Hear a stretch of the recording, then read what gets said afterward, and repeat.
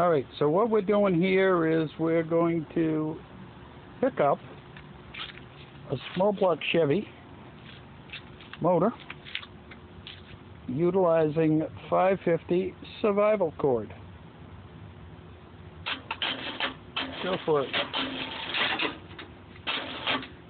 As you can see, it's stretching quite a bit because it does have a 30% stretch rate see if we can get it so that the folks here can see it. All right, go for it. Now this is 550 standard, ordinary, everyday 550 cord. Trying to pick up a small block Chevy. Oop! There's the 550 cord just broke. So, if it won't pick up a small block Chevy and you're in survival mode, could I see that broken piece, please? You may want to buy something a little bit more strength because if your life really depended on it, um, you might want something better. So we have a better story for you. We're going to hook up the cord, one single strand,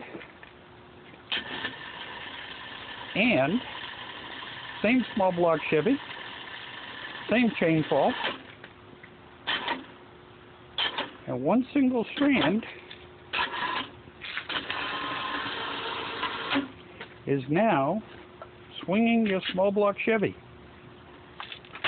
As you can see, it's exactly the same motor. Haven't changed video. Um, my beautiful voice is going. Ernie's spinning the thing around. So, if your life depended on it, which would you rather have for survival cord?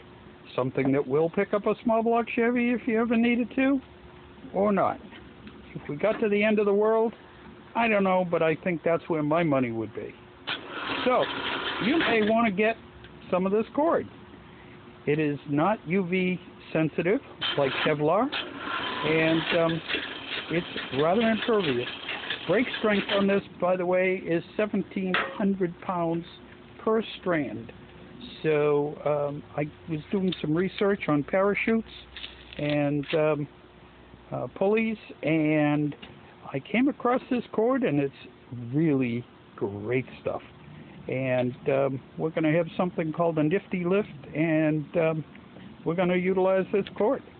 So, if you're interested, give me a call. Area code 603 401 4966. Thank you.